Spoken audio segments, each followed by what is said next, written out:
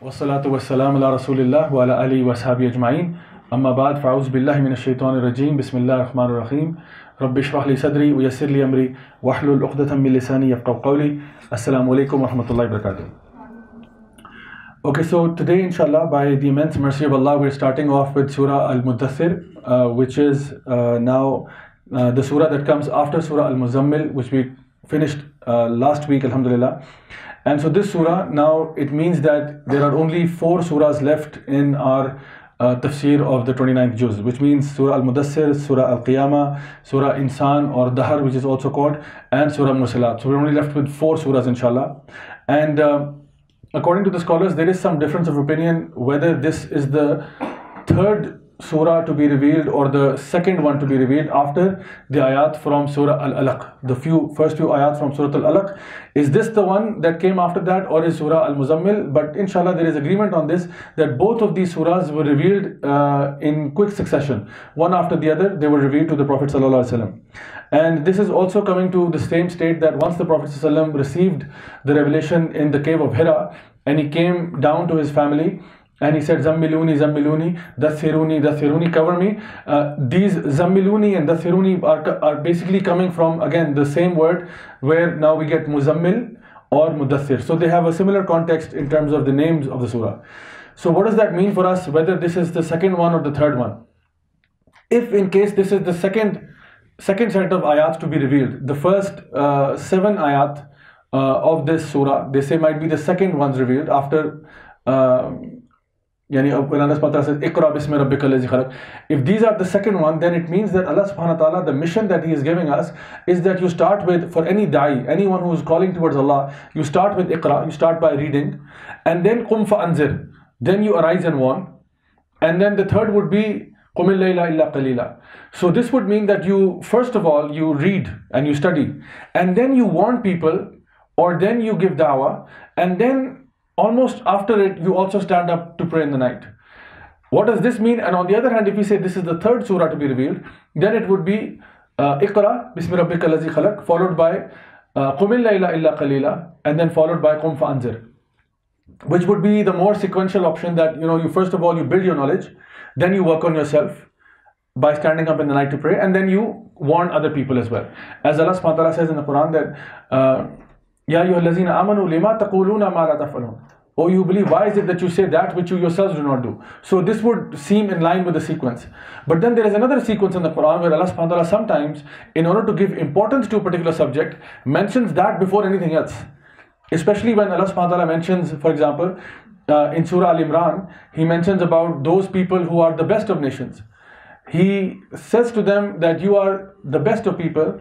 Why? كنتم خير أمة أخرجت للناس تأمرون بالمعروف وتنهون عن المنكر وتؤمنون بالله. That you are the best of people because you enjoin the good, forbid the evil, and then you believe in Allah. Now we all know believing in Allah comes before enjoining the good and forbidding the evil. But Allah subhanahu wa ta'ala to show the importance of dawah is mentioning this before even talking about belief in Allah subhanahu wa ta'ala. Which means that the real purpose of why you and I are here the real purpose of why we are even Muslims or why we are callers towards Allah is because that is the primary objective that we have to achieve.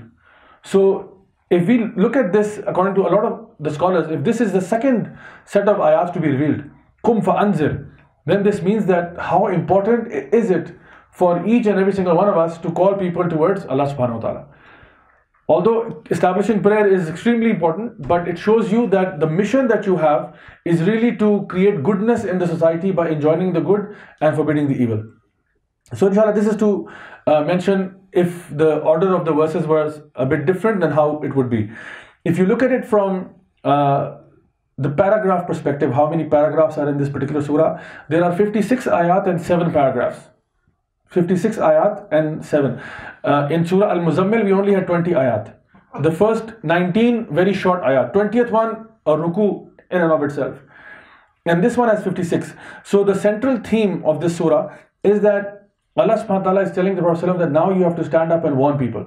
Now the time has come to call towards Allah and tell the leaders of the Quraysh especially that this Quran is a reminder for them and it is a reminder in general as well. And it's not, neither is it magic, nor is it the word of a human being. Rather, this is kalamullah. This is speech of Allah. And those who will have the book of deeds in their right hands eventually will become successful by following these commands of Allah subhanahu wa ta'ala. So that's the central theme. The first paragraph, which we will talk about today, inshallah, it actually gives an invitation towards Tawheed and warning people about the day of judgment. This is from ayah number 1 to ayah number 7. The next paragraph is ayah number 8, 9, and 10, which basically uh, talks about the day of judgment. That what will happen to those people who disbelieved, those people who rejected the message. The third paragraph from ayah number 11 to 25 talks about the reprimand of the attitude of one particular individual from the Quraysh who used to especially deny the message. And so it, this applies in general as well, but specifically to Walid ibn Mughira uh, it actually talks about that. The next surah, by the way, Surah Al-Qiyamah talks about Abu Jahl. So there is similarity even between these surahs where a particular individual has also been called out. That his attitude is like this towards the religion and subhanAllah, you might find Walid ibn Mughiras even now. You might find Abu Jahl's even now. You know, people who have been given, for example, in the case of Walid ibn Mughira, a lot of wealth and power and authority and all of these things.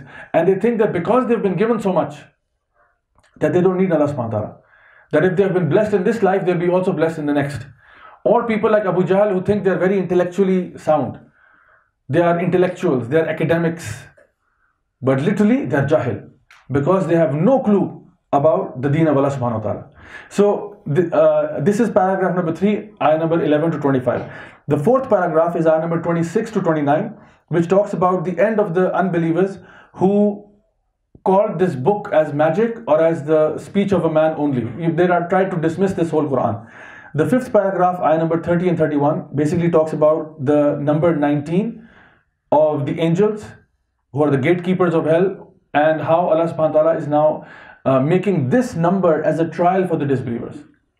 Then uh, Paragraph number 6 is from ayah number 32 to 48, which talks about the evidence of the night and day and the moon and so on. How Allah subhanahu wa ta'ala rationally comes to the conclusion that if this is there, then you should believe in Allah subhanahu wa ta'ala. And the last paragraph is from ayah number 49 to 56, which talks about uh, an, a very important principle that not every man can become a messenger. Because this was one of the claims of the kuffar that why did it have to go on the Billah, they would say the yatim of Banu Hashim. Why did the command why did the wahi have to be you know on on him? Why not us? And if the wahi had to come, it should have come to one of the top leaders. You know, because we are the best, so the wahi should come to us. So it was an arrogance and ego that was there that was kind of killing these people. And so they, because of this ego issue, they refused to follow the message. So this is just in a nutshell uh, some of the structure of this particular surah having uh, seven paragraphs. Now, one of the things to also understand as we start off is that the, these ayat came down after a period known as Fatratul Wahi, when the Wahi ceased to come to the Prophet. Yani after the first revelation, um, when the ayat came, Iqra bismi rabbika then there was no revelation after that for months and according to some scholars, three years. There was no revelation.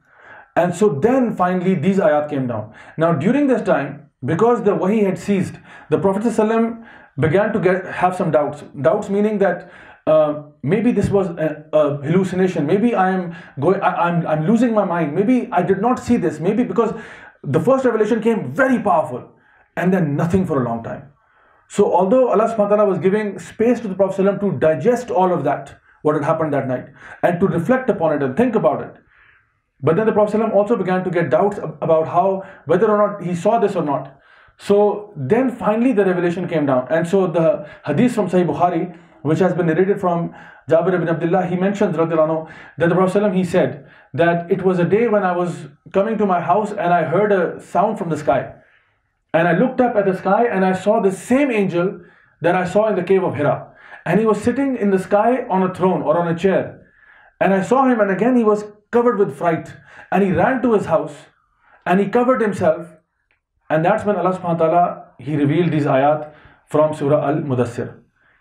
So this is now the context according to the hadith from Sahih Bukhari of how the Prophet he saw the angel and he came running back to his house. He covered himself in a blanket and so Allah subhanahu wa ta'ala revealed these ayat. This surah and the previous one, Surah Mudassir, Surah Muzammil, a lot of similarities between both of these surahs. One such similarity is that Allah subhanahu wa ta'ala in the last surah, in ayah number 19, He mentioned, Inna hazihi tazkira faman sha'attahaza ila rabbihi sabila. That indeed this is a reminder, so whoever wills may take a path to his Lord. In this surah also Allah subhanahu wa ta'ala says, uh, in ayah number uh, 54 and 55, He says, innahu tazkira faman sha'a zakara again using similar language that this is indeed a reminder this quran is a reminder then whoever wills will remember it so in both of these surah allah subhanahu wa ta'ala has established a principle of islam which is that you have the freedom of religion Allah subhanahu wa ta'ala says, so inna hazi tazkira faman sha'a attakhaza ila rabbi sabila. So this is the reminder. This is a reminder. So whoever wants to follow it can follow it. Now this does not mean that you can become whatever you like and alhamdulillah Allah supports that. The thing is you have free will. You can choose. Nobody can force Islam upon you. La ikraha. There is no compulsion in religion. So we cannot force it upon you. But you, using your faculties, have to make that judgment yourself. Allah subhanahu wa ta'ala is giving you the reminder. And this reminder is enough for your guidance. Imam Shafi would say, even just the revelation of Surah Al-Asr is enough for our guidance. Three ayat, enough for our guidance. Allah subhanahu wa ta'ala is saying this Quran is enough and sufficient for your guidance. So whosoever wills, let him take heed through that. And whosoever doesn't want to, basically, any this is in brackets, whoever doesn't want to, then that's your choice. That's your choice, that's your life. But then you have to be responsible for the consequences of your actions. Whatever path you choose, on the day of judgment, do not blame Allah subhanahu wa ta'ala because He has given you the reminder. Now it's up to you if you want to follow it or, or not follow it. So let's now start with the first ayah. Allah subhanahu says, Ya ayyuhal mudathir. O you, the one who covers himself. Al mudathir, yani from dithar, which means to cover up yourself completely, completely wrap yourself up uh, with a blanket or a shawl or something external that completely yani covers you. Even an overcoat that completely wraps you can also be uh, termed under dithar. So Allah subhanahu is calling the Prophet by that name. And in that, as we talked about last time, there is love and affection because Allah subhanahu wa ta'ala, He sees the Prophet and his attribute and He's uh, in a very loving way calling him by that name, which was a custom of the Arabs that you want to uh, praise someone, you give them a nice nickname. So Allah subhanahu wa ta'ala is calling him Al-Mudathir, the one who's wrapped up. And so why did this happen? I already mentioned that the Prophet A, he was uh, afraid of what had happened when he saw the angel because he knew the revelation at Hira wasn't an easy thing. You know, Jibreel salam squeezed him very tightly three times. And he says, Ikra, Ikra, every single time. And he said, Ma ana biqari. So he again saw Angel Jibreel and again fear overtook him that what's going to happen now? You know, it's the fear of the unknown.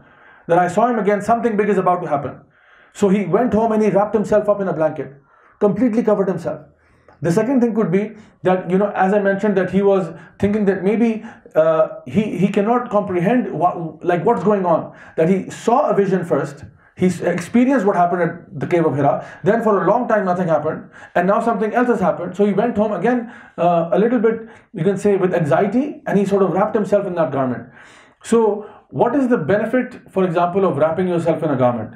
you know they would say that it is something that kind of gives you makes you cozy and makes you covered and makes you think that you know nothing can happen to you oftentimes when people read a scary novel or something they like to wrap themselves in a blanket because they might something might attack them or something. So it's a kind of cozy and comforting feeling to be wrapped up in a blanket. And especially for example if, if you're uh, for example in like really cold weather uh, the blanket will comfort you.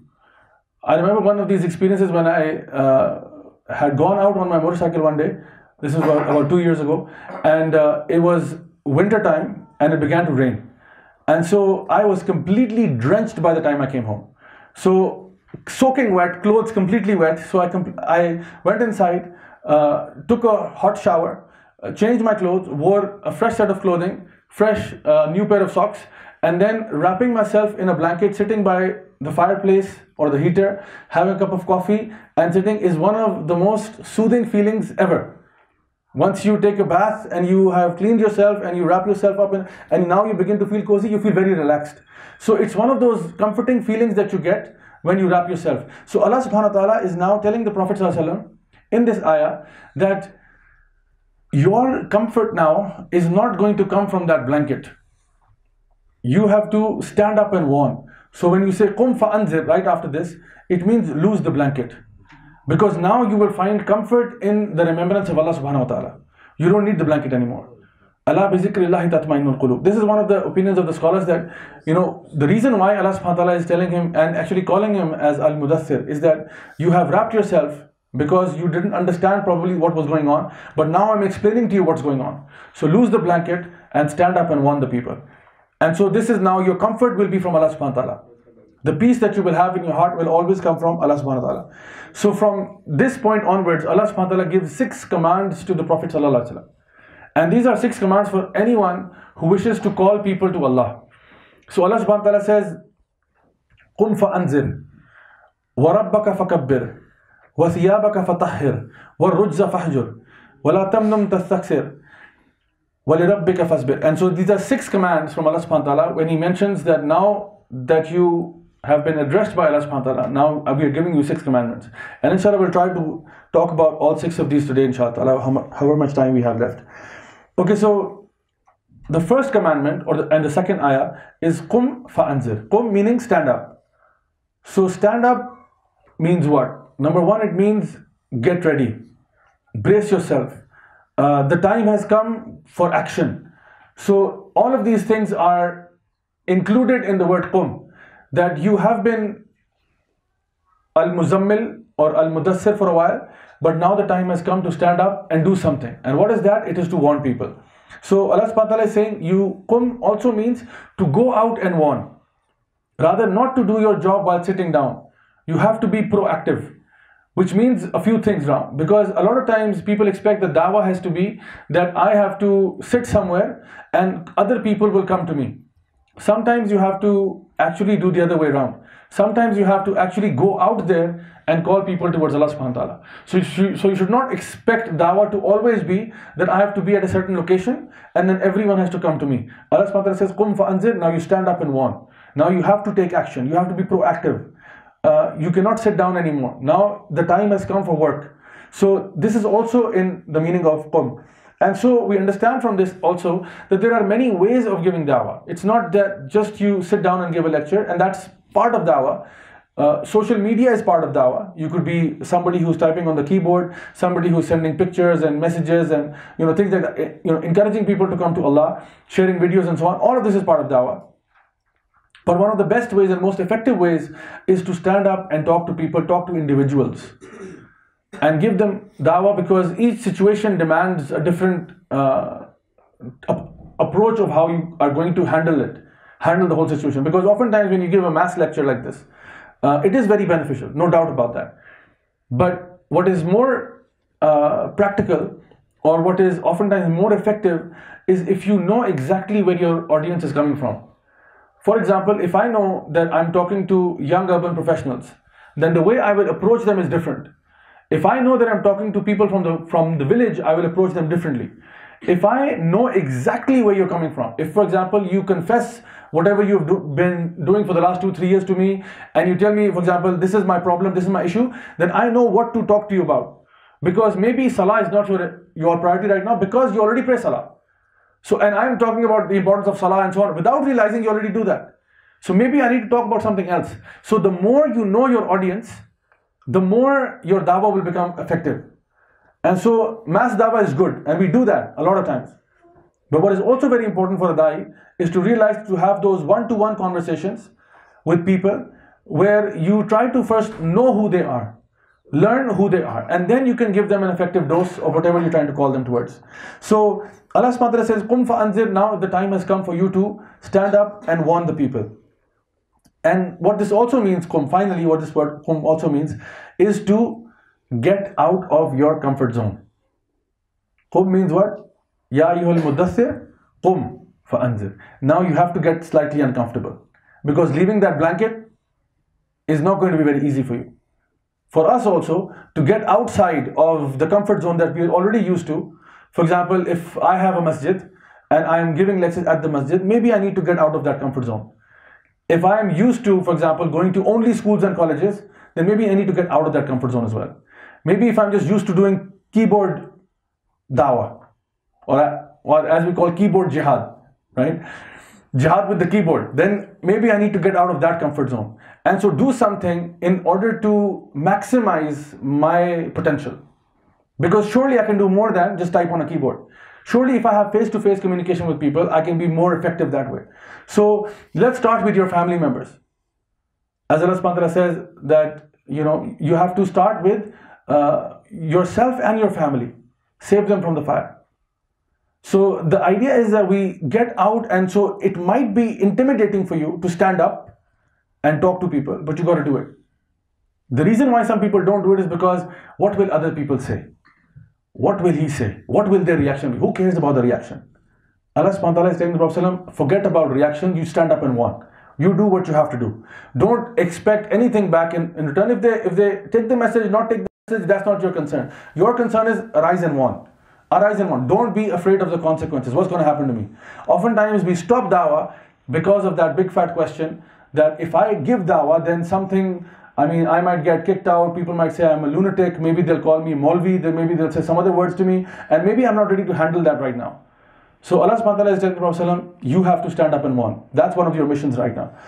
And so Allah subhanahu wa ta'ala, when he used the word qum fa'anzir, to warn, sometimes they translate as scare the people. So it's not like we're trying to uh, tell them horror stories that once upon a time there was like Dracula and then there was Frankenstein and so it's not scaring them like that. It is basically warning them that a day is coming. And this is a very real threat. But in other parts of the Quran, Allah subhanahu says, We have sent prophets Bashira wa Nazira as glad as givers of glad tidings and warners, and this has been consistently the theme in the Quran. But sometimes Allah subhanahu like over here, mentions just inzar, that you just warn them. So again, this is a part of the nature of the Quran that sometimes Allah subhanahu wa ta'ala will use two words to mention two things which are similar but not similar. And sometimes he'll just mention one of the words which contains both of the words. So in this, Allah subhanahu wa ta'ala is saying, warn them. Uh, but what does that mean? How to warn them? Again, the scholars have mentioned that warning someone comes when you start with the warning. No, normally Allah subhanahu wa ta'ala says, give them glad tidings and as a warner for them. So here Allah subhanahu wa ta'ala is talking especially about, because these are, remember, these are the first few ayat revealed. And these are talking about the Quraysh in particular, who were bad guys, who were people who were already messing up big time doing lots of kufr and shirk and there was uh, you know immorality indecency murder rape all of these things were happening over there at that time. So you cannot possibly be giving them glad tidings. That you know inshallah don't worry there's jannah for you and no don't fool them. Give them the truth hit them with the truth. So you warn them but generally they say the ulama say that if you are doing islah of a community then you should start with glad tidings. That if the community is generally good then you give them yani glad tidings that if you do this inshallah you get jannah and if you do this more you get more reward from Allah. And then also give them inzar at the same time. But you would normally start with the default position is that you start with uh, giving glad tidings and telling them that inshallah jannah awaits you if you do these righteous good deeds. But then give them a warning as well. But in a society which is completely corrupt that's where you have to lay a bit more emphasis on the inzar portion of it like the prophets uh, of Allah subhanahu wa ta'ala who would come they would mention normally with the inzar, but they would also give glad tidings. Like for example, Nuh alayhi salam, he's telling his people, if you seek forgiveness, then Allah will give you prosperity and wealth and all of these good things. And he's giving these people who are completely rebellious, he's still giving them glad tidings. Uh, despite their disobedience for years, for yani, hundreds of years, for centuries they have been disobedient. Yet still he manages to find some way to give them glad tidings as well. That if you were to change your ways, then there is something good waiting for you. So you should always balance your dawah out by giving both of these things in the right proportions. But that is up to the da'i now to decide who needs what. Generally, people, people respond better to a positive outlook. But you cannot just keep it positive and just leave all of the negative parts. Yani there is no warning absolutely, you're just always talking about good, good, good, good, good. If you do this, you get that. If you do this, you get that. You, but you're not talking about if you do shirk, you're doomed. You're dead. If you're committing shirk with Allah, then you are destroyed. So let's be real and let's not fool people. And sometimes people will hold back uh, information and they will not share it with the person. This happened to me a couple of times. Like, for example, a person who came to me asking for completely advice on a completely different level. They came to me discussing the issue of one of their kids that my child is going through this, this, this, and this. And I listened to the issue and then just in normal conversation, and I was trying to figure out, fix the child's issue. And in the conversation, the father conveniently mentioned very generally what his nature of work was. And his nature of work was completely impermissible in the Sharia. So I left talking about the kid and I started talking about him. And I said, let's talk about you for a minute. Because let me not leave you thinking that you, because he was under the impression that the only mistake that I have is that my child is messed up. And I told him one of the things when I heard from a police officer, a constable in Faisalabad, he said we were actually giving street dawa We were out in the streets giving dawa and this police officer, he I think gave us dawa And what did he say? He said that all my life, I have, I, have, I think he said four, four, uh, he had four sons. And he said the only rule that I've stuck onto throughout my life is that I have not received one single rupee of haram income in my salary or in anything like that. I don't take bribes, I don't none of that. And still he was surviving in the police, which is shocking in and of itself. So he said, I have never taken even a rupee worth of something haram in my income. Because I believe that if you feed your kids haram, they will do haram. That was his philosophy. He said, if you feed your kids with haram money, they will do haram things. And he said, my first son, he's Hafiz of Quran. My second son is an alim of deen. The second is, uh, the third is also Hafiz of Quran. Fourth is like this and this. He's an engineer. And he said, all of them are so obedient, so loyal, so trustworthy. I have no issues from them. Now the point is, uh, that's where the source of sometimes our problem lies. That we try to you know, sugarcoat, and if, somebody's asking a problem, you're like, yeah, yeah, this is an issue, and you know, tell your son this and tell your son that, without telling him, brother, excuse me, the risk that you're bringing into your house that's completely haram. There is no difference of opinion whatsoever that what you are doing, it's haram. So you have to call a spade a spade, and sometimes you need to tell people how it is not any uh, fool them with uh, soft spoken words and nice things and you know everything is good and you know you know send them into a fool's paradise because i believe that on the day of judgment this person will come and speak against you. He will say to allah subhanahu wa ta'ala, look i went to this guy. This guy called himself a dai. He called himself like this big uh, speaker who was you know calling to islam. And i sat with him for 2 hours. And not once and i shared with him what i how i earned. And not once did he bring it up. So either you have a plan in, in place. I, I, know sometimes it can be very difficult as well, especially if this guy came with like 10 other people. And you to bash him and single him out, it might be difficult, but still you need to find a way to communicate to him. Whether after he leaves via SMS or call him after that or invite him for dinner again or do something, but make sure you convey the message. If you realize that someone is involved in something which is big time haram. So this is what inzar is, that you have to warn people. Don't always just keep telling them the good stuff that inshallah, you know, he's doing haram, no problem. But inshallah, you should pray like Tahajjud uh, salah in the morning and, you know, also make zikr and so on. All of that, one side, and the haram is on the other side. So we need to stop that first. Another thing we find is that the scholars have mentioned that the inzar has to happen with a lot of love as well. It's not that you try to like freak people out or scare them to the point that they run away from Islam you have to do this also with love. And they give the analogy that you should do it like a father would warn a child about the threats of a scorpion or a snake. The father, if he sees a snake in the house, he's going to warn his child. He's not going to say, no, no, it's okay. If I, if I tell him about it, he'll get scared, you know. Uh, so I shouldn't tell him. That's crazy. So you should tell your child that there is a snake in the house, there's a clear danger out there. But the way you would do it is with a lot of love and affection. Rather, you would feel, feel for that boy. You'd feel for your son. Not that I'm holier than thou and you know you are doomed for hell and this, that. You will not do it in that tone in, or, or, or in that manner. The way you do it is with a lot of love. That look, I really care about you. And the only reason why I'm telling you is because I care. If I didn't care, I wouldn't even have this conversation with you. Like Allah subhanahu wa ta'ala when He says in Surah Al-Asr, وَتَوَاسَوْ بِالْحَقِّ وَتَوَاسَوْ بِالصَّبْرِ Watawaso comes from the word tawasi, which means to do wasiyat. That's something you do when you're dying.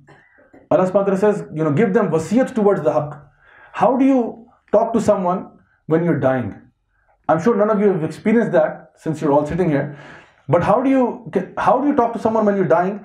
This is normally, I mean, the closest thing that I've seen to it is maybe an old uh, Indian or may Allah, may Allah forgive me, an old Indian or Pakistani movie maybe, where the father, when he's dying, right before he's dying, says something epic, like your real father is so and so or that the treasure has been buried in this and this मैंने आपकी जायदाद को फलां जगह दफना दिया or something you know some big epic news is coming and he's like nahi abba and then the you know father passes away so that epic news is coming at the last moment because it's a very serious time now because the guy realizes that it's now or never. I mean, if eh, like I'm about to die, I need to tell him this right now. We need to come clean. So that thing is very epic. Now the thing is, the scholars would say that when you give dawah, you should what tawasub al haq means you should give dawah as if this is the last time you will ever talk to this person again. This is your last meeting with this person. Now imagine how will your sentences change if you realize that this is the last time I'm meeting this person. This is my last meeting. So imagine how you would deal with them. You know, and there are stories like people who passed away, like the two guys who recently passed away uh, on their motorcycles. They died in, on the Blue Area Road. I mean, imagine when it was the last time that those guys were starting the motorcycles, the conversations that they had. What did they talk about? What was the conversation prior, prior to that? And if they had known that this is the last time I will start the motorcycle, this is the last time I'm putting on my helmet, this is the last time I'm putting on my pair of gloves. After this, I will never have the opportunity to wear a helmet again. After this, I'm not even going back. Now that I'm leaving my house, I'm not going back to my house. Imagine what would be the conversation then, as opposed to that careless attitude which we normally have that we leave the house, we come back into the house, leave the house, come back into the house, expecting that we will live forever. So if you're meeting someone, so your or your sincerity has to be like that. That is kum fa'anzir. So when you're warning people, do that with that passion that maybe this is my last meeting. So you automatically that love aspect will come in. I mean, if I and so I'm I try my level best that whenever I'm giving a lecture or a talk or a workshop, I always keep this thing in the back of my mind that perhaps this is the last meeting. Perhaps this is my last lecture ever. And so I need to be careful of every word that I say. As a matter of fact, I would say that whenever you leave your house, make it a habit that leave your house by making wudu first. Don't leave your house without wudu because you should keep yourself mentally in check that I want to meet my Lord in a state of purity. I want to meet my Lord because once I leave my house, I mean, you should try to be in a state of wudu all the time, but especially when you leave your house because it might be that you might never come back. May Allah give us all long lives, inshallah. But I'm saying when you leave with that intention that I'm making wudu and then leaving the house because perhaps this is my last time I'm leaving the house, automatically you will be aware of the fact that I could die at any moment. And so the thing about death is that we're not afraid to die. But we're just afraid to die in a state which is displeasing to Allah subhanahu wa ta'ala. That's the only difference. We as Muslims are not afraid to die. We are we love to meet Allah subhanahu wa ta'ala. But the fear is I don't want to meet Allah when I'm not ready, when I'm not prepared to meet Him. And this actually I learned from my daughter a few days ago. You know, she, uh, my, not the youngest one, because we have a new addition in the family.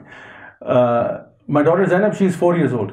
And she has this unique thing about her that every morning when she wakes up, she wants to, she does not meet me unless she goes and makes her hair. That's something that she does. She's crazy like that. But what she does is, as soon as she wakes up, she does not want me to see her with her hair messed up. So she goes running to the washroom or running to her mom's uh, dresser and she takes out her clips and things like that and then she says, Papa, don't look at me. Papa, don't look at me. Papa, I'm not looking at you. And then she makes herself, I said, now you can look at me. I'm like, wow, you look amazing. So she, she does that every time because she knows that I need I don't need my papa to see me in a in a way that I might look uh, unattractive or my hair is not made up or anything like that. So she always does that. I didn't tell her to do this, but this is just something that she does. And Alhamdulillah, I've seen that she continues with that. It's not that she gives up on that. Now, if this is just her relationship with her father, imagine how we should be when we meet Allah subhanahu wa ta'ala. Every time you go to the masjid, do you make an effort for it? You know, that's why uh, yani, some of the Sahaba would say that we like to beautify ourselves for Allah subhanahu wa ta'ala. When we go to the masjid, we like to go in the best clothing, not like just you know you woke up out of bed and pajamas torn off and this that and the you know old T-shirt and you just walk into the masjid like that. So you're you should always be ready for death, and so this implies that you keep yourself in a good state of inner and outward purity, inshallah. Okay, so we'll conclude this in one minute because we have to take a break, and then inshallah we'll continue on. The third ayah, Allah subhanahu wa ta'ala says, وَرَبَّكَ فَكَبِّرْ And your Lord Fakabir, yani glorify him, magnify him, exalt him. So this is a command now. All of these are commandments. Qum fa'anzir was a command. Warabbaka fakabir is a command that you have to glorify him. One of the meanings of this is, the scholar said it is pointing towards salah. That now you have to pray because when you say Allahu Akbar, that's when you begin the salah. So warabbaka fakabir that you should establish the prayer. Also it means that you glorify him in your own life. In your own life, وَرَبَّكَ فَكَبِّرْ there should be none higher than Allah subhanahu wa ta'ala. وَالَّذِينَ آمَنُوا أَشَدُّ حُبًّا لِلَّهِ Those who believe are extreme in the love for Allah. So in your life, Allah has to be like at the top place. No one can be higher than Allah subhanahu wa ta'ala. And so this is now also the purpose of dawah itself. You know, oftentimes people get sidetracked in dawah. They might start to give lectures on maybe, you know, things like, um, for example, a lot of talk about leadership or, for example, uh, how to give good speeches or how to make a PowerPoint presentation or so on. And this is, okay, fine, I understand the importance of it. And I sometimes do talk about these subjects too. But the essence of dawah has to always be, وَرَبَّكَ فَكَبِّرْ you have to constantly glorify Allah. If you're not doing that, then this is not dawah. Allah subhanahu wa ta'ala says, Qum fa'anzir, stand up and want, want to what? What about what? Tell them about Allah. Connect them to Allah. Tell them who is Allah. So in every lecture, talk, workshop, whatever you do, you need to educate people about Allah. Sometimes we might go through the entire Quran, yet we don't even know who Allah is. Warabbaka fakabbir means you should know Allah. Sometimes we might study books of Aqidah, but we don't know who Allah is. Because we've read the theory, but we don't feel it yet. We read that yes, you should have tawakkul in Allah. But what does it mean to have tawakkul in Allah? What does it mean to have reliance upon Allah subhanahu wa ta'ala? That is a different ball game altogether. That when the when you know push comes to shove, do you really have tawakkul in Allah or do you have tawakkul in something else? So that's where the test comes. So every dawah organization also needs to keep this as their main objective that we are here to glorify Allah. And so, you know, if you love someone, that's a rule of love, by the way. If you love someone, you love to talk about them. Yes? Some, some brothers are nodding with experience, mashallah. So, if you love someone, you love to talk about them. So, the thing is, how much do you love Allah? If you love Allah, then you talk about Him everywhere you go. And so that's how it is. You know, sometimes uh, I get added to groups on WhatsApp and they tell you uh, you should not uh, talk about religion here. You should not talk about you know Allah subhanahu Just keep everything general. Let's talk about gadgets, for example. It's a group somebody added me, for example. It's talking about gadgets, mobile phones, and uh, but I tell them straight away normally that look, my life is dawa My profession is that. So surely you cannot tell me to stop my profession. I will talk about this. I mean, if you don't like it, then I'll leave. But if, if you've added me for some reason, I will talk about Allah. Even in gadgets. I will tell you what apps to download, what not to download, but I'm going to talk about this subject. So I'm telling you right now that if this is some kind of a other gathering where you don't need this, then I can uh, leave the group right now. But if uh, that's not the case, then inshallah, I will do what I have to do. So it cannot be that somebody tries to contain you and say, no, no, no, don't talk about Allah subhanahu No, no, we will. We have to because He is our creator and we love Him. And there is no way that you can stop me from talking about things that I love. So, inshallah, this is just a glimpse or uh, the tip of the iceberg talking about Warabbaka Fakabbir. Inshallah, we'll take a break here uh, for tea and uh, we'll break for about 10 minutes and inshallah we'll start back in 10 minutes uh, with the same ayah. Jazakumullah khairan. Assalamu alaikum warahmatullah wassalatu wassalam ala rasulillah. Uh, welcome back everyone. Um, इंशाल्लाह अभी हम लोग आया ayah number four. Start करेंगे last आया जो हमने किया था वज वरब्बा का फ़कबर सो इन आया number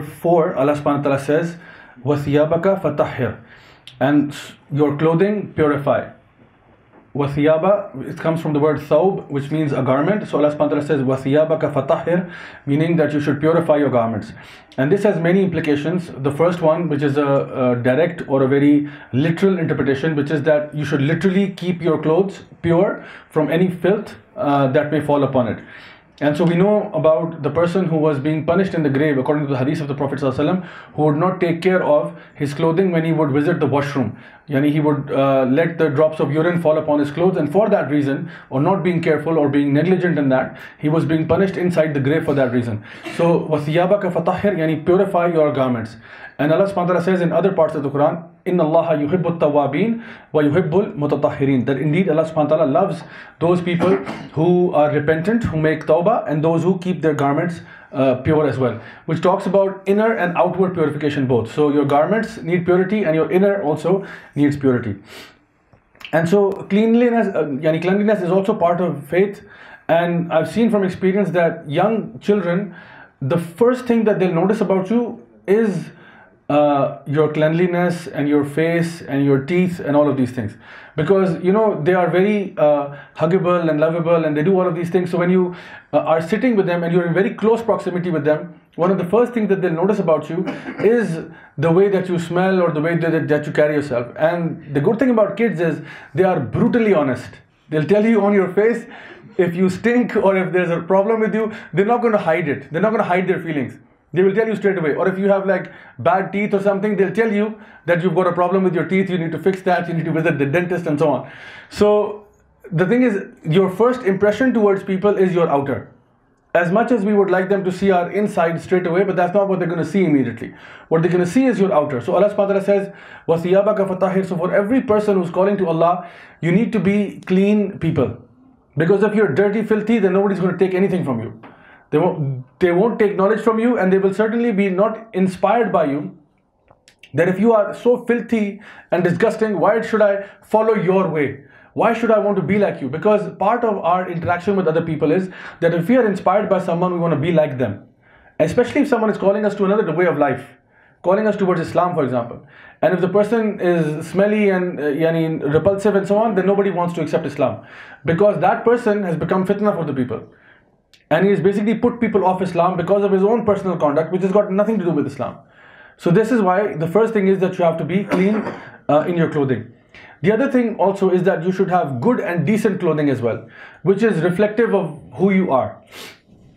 And there is no specific dress code in Islam that you have to wear certain types of clothing and so on. You could have good clothing, uh, modest clothing. I'm not saying that you you know become immodest. But there is no spe- specific dress code like for example in the christian for example tradition the pastor would wear like a white collar or something like that uh, and the nuns have a particular garment that you have to wear and likewise the rabbis and so on. But in islam alhamdulillah as long as your clothing is nice and clean and decent this is okay inshallah. So there is room for that. And so you might have people especially if you've gone for umrah or hajj you find different parts of uh, the world people coming from various parts and wearing different types of garments some has a thobe on, some have shalwar kameez on, some have got other types of clothing. And so it, it's reflective of their culture as long as it's within the boundaries of Sharia, it's, it's completely allowed. And so it is not haram to wear good clothing.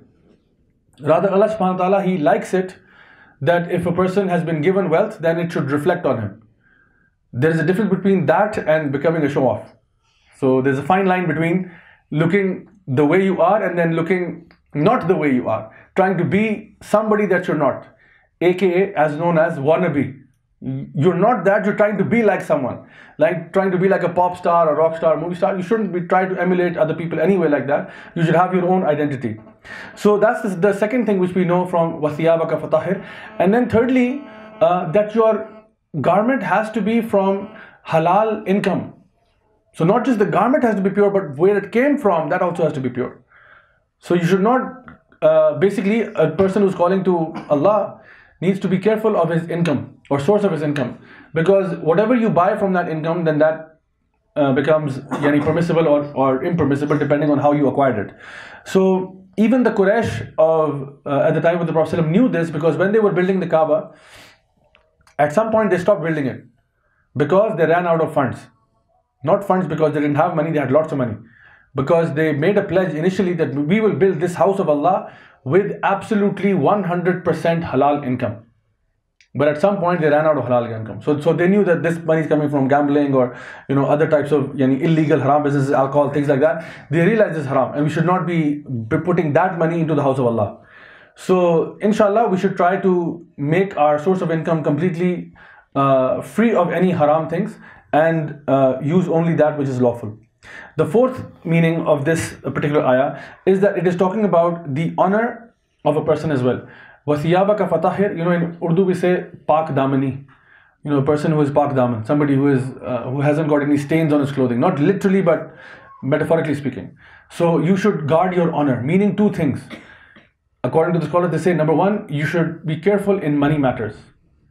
That you should not be blamed or have any uh, you know, outstanding cases on you, you know, NABs after you. Like the biggest dai of Pakistan, for example, and he's got a NAB after him. You know, they've got the cases in court. You know, he's basically been, uh, you know, mixing funds here and there. He's got like places, you know, palaces in Switzerland and in the UK and things like that. So obviously that's not going to look very good on you. So if a person is doing that, obviously you understand that this person is not to be trusted. Number two, this means, and very importantly, your relationship with the opposite gender. وَثِيَابَكَ فَطَهِّرْ So as a da'i, you need to be aware of two major things that will bring your character down, that will make your make your clothing impure. And so we need to be aware of both of these fitnas that a person who is getting into this field and then they're calling to Allah, but then you find out that they have certain cases on them, they have been harassing people and so on and so forth.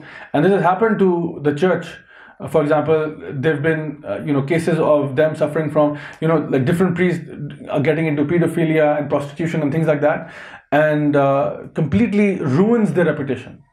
But even then, like I, I actually remember one or two of their preachers, they actually came back, and the church was very forgiving, and the people were very forgiving, and he said, you know what, I did that, the devil made me do it, but now I'm back, and this time it's not going to be, and he did it again and so again he went he, and he went back up on the stage again. He said, "Look, devil got me twice. He won't get me a third time." He was like, "Yeah, that's it. That's that's the way to do it." So the thing is, they can. But if, if in, in, in the Islamic tradition, if a guy does that, uh, you know, he's not coming back. People will probably kill him. You know, if, if he does something like that, you know, before anybody else, somebody might murder him because of that very reason. So your reputation is everything. Your honor is everything.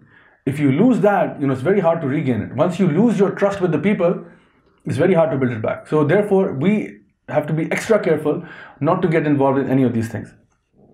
Uh, the fifth thing that the scholars mentioned is that, and this is the opinion which people have now tried to analyze or look into the matter. They said, وَثِيَابَكَ فَطَهِّرْ Also, because Allah subhanahu calls uh, your wife and your husband libas in, in the Quran. So by purifying your garment is means to purify your libas, means to purify your spouse. How do you purify them? Uh, by uh, number one, selecting the right spouse for yourself. So if imagine if there's an Islamic speaker and he marries the most notorious person on the face of this earth. You cannot imagine that, right? Because you, you need to have uh, a pious spouse because they're reflective of you. That's why, you know, at the time of the Prophet ﷺ, when they, when the uh, of Ifk happened, when they blamed Sayyidah Aisha, the issue was not with Sayyidah Aisha. They wanted to discredit the Prophet ﷺ. That was the main issue behind it. So the idea was that if we can somehow prove about her that something is wrong, then obviously we'll discredit the Prophet ﷺ. And that's how they uh, spread the fitna. So we have to understand that our selection has to be good. Uh, according to what the Prophet ﷺ said, that you can marry someone for their looks or their wealth or whatever, but you should definitely go for the one for her deen. Because then it is reflective on you and vice versa. And you should also, وَثِيَابَكَ فَطَهِرْ means also you start with them. You start with your family. Before you start giving dawah to the rest of the world, you should start with your family and because they are representative of you. So inshallah, you begin with family. And the last and final thing, and there are more interpretations, but I think for today it's enough, uh, is that your character, according to Hassan al-Basri rahimullah, he said, وَثِيَابَكَ فَطَهِرْ also reflects on your character. That your character has to be pure and has to be good because if your character is loose, then again nobody's going to take knowledge from you. So wasiyabaka fatahir means apart from uh, your outer physical um, purification, your character has to be also purified, which means that you should be a humble uh, human being who is very uh, easy to talk to, very approachable, uh, not someone who's conniving and always coming up with like you know this story there and that story there. This type of uh, character does not suit the da'i or the one who's calling people towards Allah subhanahu wa ta'ala. It does not suit them. Then Allah subhanahu wa ta'ala says in the ayah number 5, وَالرُّجْسَ فَحْجُرْ And so, and avoid uncleanliness. Rujs basically, or rijs basically means uh, two things primarily. It means filth, but it also is referred to in the Quran as idol worship. Allah subhanahu wa ta'ala calls idol worship as that as well. Also, it is no, it is also according to Ibn Abbas radiallahu he said it's the major sins. It's the big sins. So, وَالرُّجْزَ فَحْجُرْ Fahjur is from hijrah. So, do hijrah from these sins and from idol worship. So Allah subhanahu says, is now command for you that you move away from, do hijrat from sins, major sins and idol worship. And this is our attitude in life. You know, you, you do end up sinning, as the Prophet said that every son of Adam is a sinner, but the best of them are those who repent. But the thing is, major sins should not be on your list. And what are the major sins? I just talk about few of them, inshallah.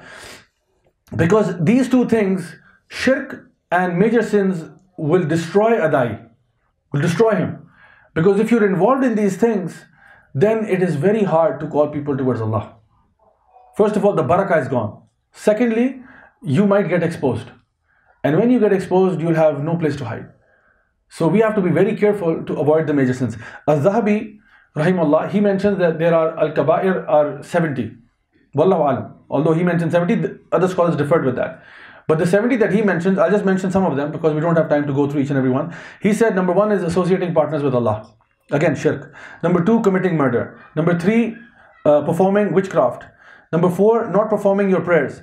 Number five, withholding zakat. Number six, breaking the fast of Ramadan without a valid excuse. Number seven, not performing the pilgrimage when you have the capacity to do so. Number eight, disobeying your parents. Number nine, cutting off the ties of kinship. Number 10, committing adultery or fornication. Number 11, committing homosexuality. Number 12, taking or dealing with interest. Number 13, devouring the wealth of an orphan. Number 14, forging statements concerning Allah or His Rasul. And you say to Allah what He didn't say, or you say about the Rasul what He didn't say. Uh, and then he mentions number 15, fleeing from the battlefield. Number 16, wrongdoing, deception, oppression on part of the ruler, on anyone who's been given authority over people. If he becomes oppressive and uh, abusive, then this is also uh, one of the major sins. Number 17 is being arrogant or boastful. Number 18 is giving false testimony. And number 19 is drinking alcohol. Number 20 is gambling. And number 21 is slandering of innocent women. Calling women uh, yani, uh, loose character or so on when you have no evidence whatsoever. And this is just hearsay. So these are just 21 that I mentioned, and there are uh, a lot more to go. As I said, I have the whole list here with me, but inshallah, uh, just to give you an idea that these are some of the kabair that a person has to stay away from. you should stay away from these things. So again, I'm saying major sins you should clearly be away from. And the Prophet is being told, although he doesn't never committed shirk, but even he's being told because again we are reading this now. So it was a command for him, and how important is it for us now to stay away from these things? So this is now the six commands for adai. We're coming to the next one in ayah number six. Allah subhanahu says, "Wala tamnum tastaksir," and so give not a thing in order to have more. Wala tamnun, do not do a favor or a good deed. Tastaksir from kathir, expecting lots of increase in it. What does that mean? That means that when you do a favor to someone, don't expect anything back in return. When you do somebody a favor, when you do someone don't expect anything back in return. I'm, I'm going to give you an example of Imam Abu Hanifa rahimullah, who would not stand under the shade of a house. And his students are standing in the shade and he's outside in the sun. And they say, Sheikh, come stand in the shade. He said, No. He said, Why? He said, Because I lent this guy some money. And I don't want to benefit from even the shade of his house. I lent money to this guy. The guy who owns this house, I lent him money. I don't want to benefit from even the shade of his house. This is the level of his taqwa. I'm not saying that you should not stand under the shade of a guy who owes you money or something, but I'm saying this was his taqwa. That I don't even want to benefit at all from this person. So the idea is when you do good for someone, the natural reaction is, the natural fitra is that we are going upon, is that if I do good to someone, they should do good to me. If I smile at you, I expect you to smile at me, right? If I say something, Assalamu alaikum rahmatullah, I expect Assalamu alaikum back. Walaikum salam rahmatullah. But if you don't say, and if I get angry, then what's that? What's that show about me? That shows that I am expecting a certain level of return from you. And I shouldn't have that. If people give you back, Alhamdulillah. If they don't give you back, that's not your concern. You have done your part, that's okay. You should expect your reward from Allah. Regardless. If this, if you understand this, you will understand half of dawah. Because dawah, you will not get it back. You give someone something, you pour your heart out on someone. And he said, You're a fool. You spent five minutes typing away, replying to someone very intellectually, rationally. And he says, You're an idiot. That's it. That, that's all you get. And you're like, SubhanAllah, I was being sincere with this guy. And he's calling me names. Just, okay, no problem, move on. The fact that you were expecting maybe that he would say, Wow, SubhanAllah, you are a genius, bro. Seriously, I have never experienced this level of intellect in my life. You have changed my worldview forever. Ashhadu an la ilaha illallah. I become Muslim, inshallah. Just as you say, whatever you say, I will do, and I will obey you, inshallah. You're expecting that? It's not going to happen. Forget about it. It's not going to happen like that. So the thing is, sometimes we expect that, you know, I, am putting in my soul, I'm putting in so much uh, effort into this. Nuh salam did an effort for 950 years. He got nothing back. So what makes you think that you're going to put in like half an hour worth of effort into something and you expect miracles to take place? Allah subhanahu says, do not expect something back. Because that's the very nature of dawah. You're not going to get stuff back. So kum fa'anzir, do what you have to do. That's why you have to be literally being a da'i or being a person who calls to Allah is a job of a public servant. You have to be literally a public servant. Not just you say, hum aapke khadim and things like that. You literally are a khadim for the people. Not for your sake, for the sake of Allah. You are serving the people. You're giving them stuff. Maybe they'll maybe they'll respond back nicely, maybe they won't. Mostly they won't. but you expect your reward not from them but from Allah. If your reward starts to come from them, then there is a problem with your intentions. If you think that, you know, if I'm going to give this and they have to give me back, and then, for example, if I'm giving dawah to someone, I'm expecting that, you know, once I do the lecture, I expect this guy to do me some favor and get me, for example, my uh, housing loan approved or blah, blah, blah, anything, any favor from him. He can, you know, maybe make me, uh, you know, bypass the paperwork or any other favor that I want to get. I should not be getting that. Likewise, when you give zakat to people, you should not expect things in return. And my teacher would say, for example, he would say that if you give, that's why, you know, scholars say don't give zakat to your own servants. At least not by telling them. If you have to give zakat, this is an issue in fiqh, for example. If you give zakat to your own servants, then Masiji that day will put an extra effort in the cleaning. You know, Masiji normally works at an average rate. You give her 10,000 rupees or 50,000 rupees. Masidi, this is a card for you from the bottom of my heart. Please accept this. She says, makes lots of dua for you and so on. And that day, the house is sparkly clean. You just benefited from, from Masiji and you know it.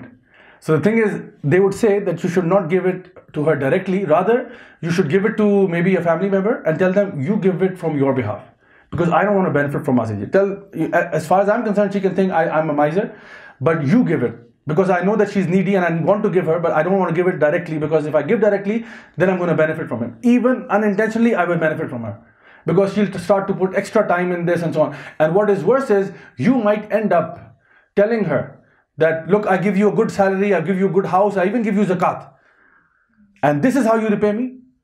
So now what, oh, like, like what are you doing? You're basically uh, ruining the reward of your zakat by saying that statement that this is all I do for you and this is how you repay me, now you've lost it all. So that's why they would say that do not give it to your own uh, servants, for example. Rather, you'd have it given via some other route, inshallah. And this is again not to expect something in return. Our reward is from Allah. Whether you get it, I mean, it's natural for you to like it. That's what I'm saying. Why it's part of your fitrah. It's natural for us to like that people appreciate you, or people say nice things about you, or people respond in the same way. You, I mean, everybody likes that.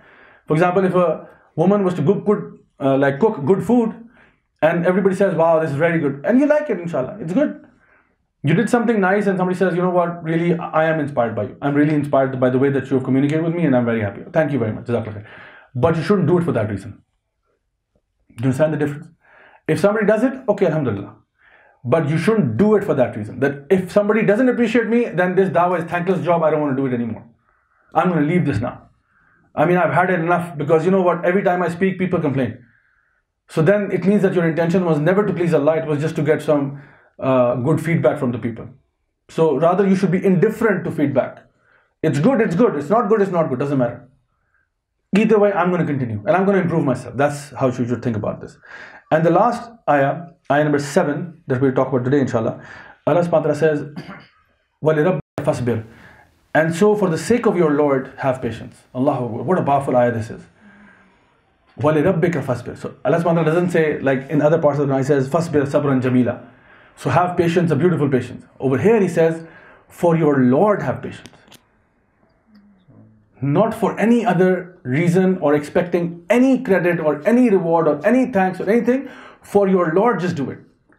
Don't respond back. Don't shout back. Don't scream back. Don't get angry. For who? For, for Allah. Leave this person for Allah. وَلِرَبِّكَ فَاسْبِرْ So for your Lord do that. So subhanAllah, imagine any time you're in that difficult situation where you want to say something, but you remember, I can't because I want to do it for Allah, not for anything else. Not because I can't say it to this person, not because I can't retort back, not because I can't say anything back. No, I'm doing this for Allah. For Allah, I'll keep my mouth shut. I'm not going to say anything back.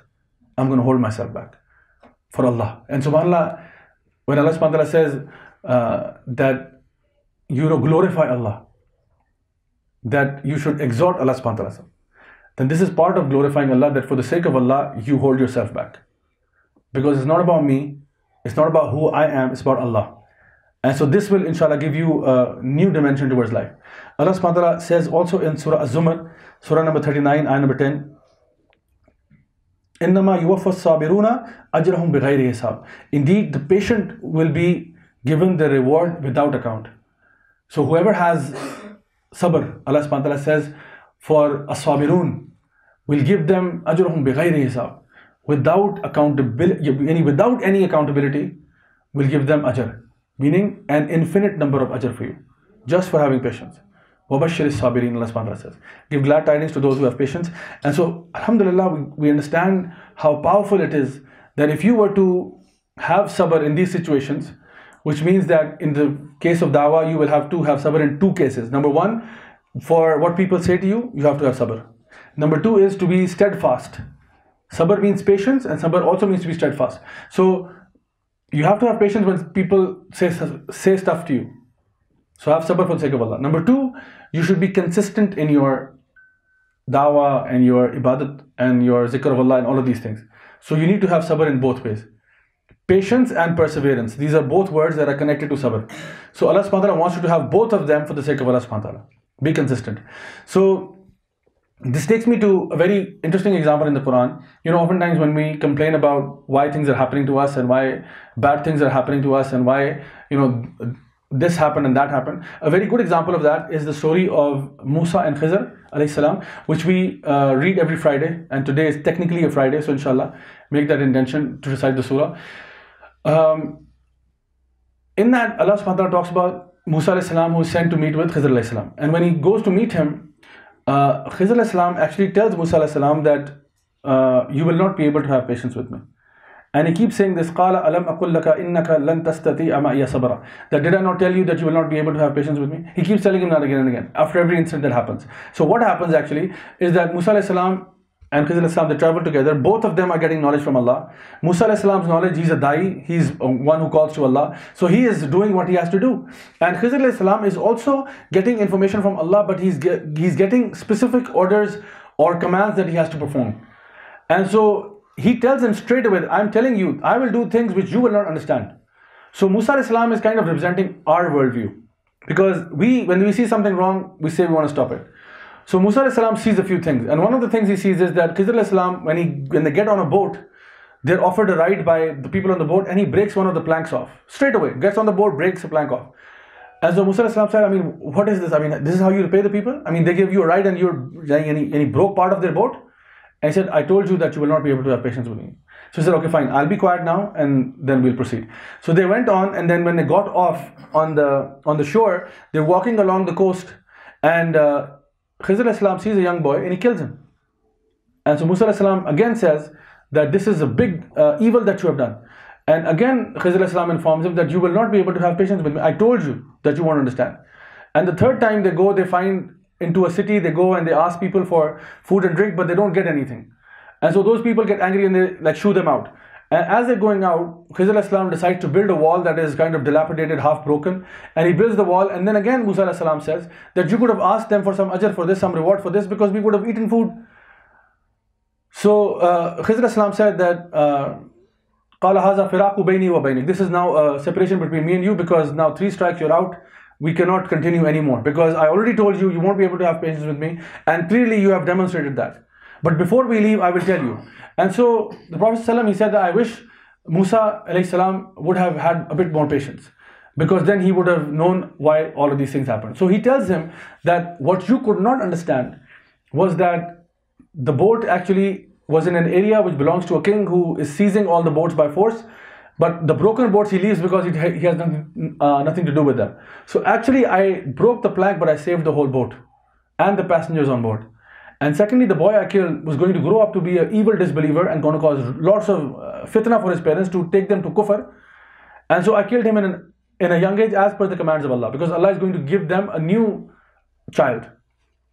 And I built the wall because this wall belonged to uh, two young boys whose father passed away and he was a righteous man and he's buried some treasure underneath the wall.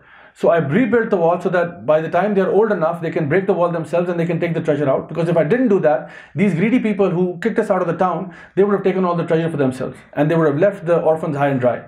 So this is why I did this. And he said, uh, وما فعلته عن أمري ذلك تأويل ما لم تستع عليه صبرا that indeed I did not do of my account anything uh, and that is the interpretation of about which you could not have patience so Musa salam, although he's a Nabi and a Rasul of Allah subhanahu wa could not understand why these things were happening. Like sometimes we cannot understand why this is happening to me. Whether this is in the field of dawah or otherwise. Something big calamity happens in your life and you're like, why on earth did this happen to me? Know for a fact that your knowledge is not greater than Allah's. Khizr salam is giving you a small drop of the knowledge of Allah subhanahu wa by showing you that sometimes things look some, like something else, but they are different. What you perceive and what you what is the reality is two different things. So you should just admit it that I do not understand everything in this universe. Your mind has limitations just like your sight, your hearing, and your strength. Your sight has limitations. You cannot see what's happening in America right now, live in somebody's house. You, you do not know what's happening. You cannot hear what's happening in the next door house. You cannot pick up this whole house. You have limitations. Likewise, your mind also has limitations. So the first thing you have to admit to yourself is I cannot possibly understand everything. And that's where you need to have sabr. One of the biggest tools of having sabr is to realize I don't understand the situation completely, but I'm sure there is goodness in it. I'm sure, you know, they say whatever doesn't kill you does what? Only makes you stronger. So if it doesn't kill me, I'm sure there is has to be something good in it. This comes with practice. You have to keep telling yourself again and again and again and again every time something happens. You know, sometimes, subhanAllah, I get into any kind of tough situation, I get excited. Because I get excited because I'm like, okay, I completely don't understand why this happened. And I'm like, I'm eager to know what the goodness is in this. I'm sure and 100% convinced that there is goodness in this, without a doubt. But I, I get excited because I'm like, okay, so I am excited to know the result of this. Like, you know, a detective movie or something. I, I, need, I, I need to really understand why this happened to me. Why? What was the hikmah in this? And I'm sure I will understand this. Maybe six months from now, two years from now, three years from now. But I will understand. And I realized at that moment that I need to have patience for the sake of Allah. Because I trust Allah, I know He will never destroy me. I know that as long as I stick to what I'm doing, Alhamdulillah, everything is fine. The Prophet when he went to Taif and he was stoned by the people, what did he say in the end? He said, Oh Allah, if you are pleased with me, then nothing else matters.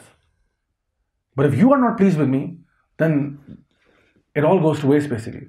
So he's saying that if as long as you are pleased with me, I, I don't I, I, don't care about anything else. And that's what you should say every time a calamity happens to you that Allah, I hope that you're not angry with me. I hope that I have not uh, done something in your disobedience to earn your wrath or your anger. So that's the only dua you need to make. If because I'm sorry if I made a mistake. But if I haven't made a mistake and this is a trial from you, then inshallah I will have sabr. And please show me what the hikmah was behind all of this.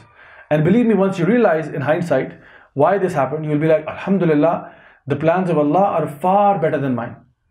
Whatever I had to go through in order to get to where I am now, Alhamdulillah, there was some plan, master plan at work, which I did not understand at that time. So inshallah you understand that. Now I will conclude with this uh, final thing that one of the things that you have to understand in order to have patience is to number one strive for it and do uh, practice of it which means that uh, every time you get into a situation you have to do mujahada you have to strive you have to do jihad like for example you know knowledge cannot be acquired except via studying for it Patience cannot be acquired except by practicing it. You cannot say, I was born very patient. You will have situations that will rattle the most coolest of people. You know, because sometimes different situations affect people differently. For one person, failing an exam might not be that big a deal. You know, they fail every day, it's, it's okay. For someone, it's the end of the world. For failing an exam, it's like that's it. I'm, I want to shoot myself. I want, to die. So for, for, so for every person is different. So the thing is, you have to practice it. Just like you have to practice studying and learning and so on. In the same way, hilm or sabr has to be something that has to be acquired via mujahada or struggling for it con- continuously. Like when you see an expert, for example, uh, an expert person with calligraphy, they weren't born like that. They have been doing this for many, many years and now they're that and now they make it look like child's play and you see uh, an expert calligrapher doing this you're like i can do this this is easy until you pick up the pen and you start and you can't get the first aleph right. You're like what? How did he do that? Because he's making it look like child's play likewise any professional any professional you see them doing what they do and you're like this is easy. I, I can do this. Until you try it and you're like i can't do this. So the thing is likewise when you see patient people they've been struggling on it. They've been doing it over and over and over and over and over again until they have become masters of that area. So they would say that you should sit with people uh, who are patient and you should sometimes sit with people who are not patient. You learn from both of them. You learn enough from both of these groups. There was one person whom uh, Imam al-Ghazali mentioned that he actually, how, how much he was concerned about his patience. He hired a person to abuse him every day. He actually hired a person that your job, my dear servant, is to abuse me. Whenever you find the opportunity, abuse me. You know, whenever I'm down in the dumps, you know, imagine coming back from work and you're exhausted and you're tired, and there's your servant, he's like, You are this and that. And he's like, What? And he's like, Your job is to, because I want to do mujahada on myself. I want to make myself strong enough and be in that state that I, I couldn't care less what you say about me. You know, so this is how some of the people would go to that extreme to hire someone to actually abuse them so that they can get in control of themselves and not their nafs control them. They are in control of their nafs. So inshallah, this is a struggle. It's a work in progress. We need to at least make the intention that for the sake of Allah, I need to have patience. And so alhamdulillah, there is uh, according to the hadith of Prophet he said that, uh, this is from Bukhari and Muslim, he said that whatever wealth I have, I will not withhold from you. This is what the Prophet said. Whatever wealth I have, I will not withhold from you. Whoever uh, would be chaste and modest, Allah will keep him chaste and modest. And whosoever would seek self-sufficiency, Allah will make him self-sufficient. And here's the thing He said, And whosoever would be patient, Allah will give him patience. And no one is granted a gift better and more comprehensive than patience. The Prophet was saying, Is the best gift that Allah can give you is that if He instills in you that patience, you struggle for it and you get it. That's the best gift because Wabashir is sabirin. Give glad tidings to those who have patience and they have an ajr like nobody else. The people who are patient, they have ajr like nobody else. So, Alhamdulillah, sometimes you could be doing absolutely nothing. And yet you are doing the greatest ibadah on the planet. Somebody says something to you and you're doing nothing. You're just sitting there and you don't know what kind of storm is cooking inside, but you're relaxed. On the surface, absolutely calm. Storm is brewing inside. And subhanAllah, the angels are noticing, subhanAllah, what, what kind of patience this guy has. This guy is abusing him, saying things to him, and he's relaxed. But inside, you don't know what's going on. Inside, you don't know what's happening. You know, it's like uh, the guy who, uh, Muhammad Ali, the boxer, he um, knocked a guy out with one punch. I think it was 19, late 70s or early 80s. He knocked a guy out with the first punch. He went in there ding, ding, ding, went in, knocked a guy out. And there was a reporter, he was a heckler, he hated Muhammad Ali. And so he, he's like, ah, that's a fluke. That's a fluke. He's like, you don't know, I've been working for 20 years to make this punch. He said, for, for you, it looks like a joke that I came in and hit it. He said, it took me 20 years to make a punch that would knock a guy out in the first round. So for you, it seems like it's child's play. I could do that. No. There is something that happened behind this. So behind greatness, there is a lot of hard work. If you want to get there, you have to start somewhere. And as long as you're consistent, you keep telling yourself, I can do it, I can do it, inshallah you can, and you will. So I make dua that Allah subhanahu wa ta'ala enables us to be patient, people who are people of sabr, and we do it sabr for the sake of Allah subhanahu wa ta'ala. May Allah subhanahu wa ta'ala enable us to follow and act upon whatever that we have studied today, uh, and may He enable us to be on the footsteps of the righteous, of those people who are the pious, Anbiya, the Siddiqeen, the Shuhada, the Salihin, and may Allah subhanahu wa ta'ala grant us all Janatul Firdaus al-Ala. ربنا آتنا في الدنيا حسنة وفي الآخرة حسنة وقنا عذاب النار. ربنا لا تزغ قلوبنا بعد إذ هديتنا وهب لنا من لدنك رحمة إنك أنت الوهاب. ربنا تقبل منا إنك أنت السميع العليم. وتب علينا إنك أنت التواب الرحيم. وصلى الله تعالى على خير خلقه محمد وعلى آله وأصحابه أجمعين. برحمتك يا أرحم الراحمين. جزاكم الله خيرا. والسلام عليكم ورحمة الله وبركاته.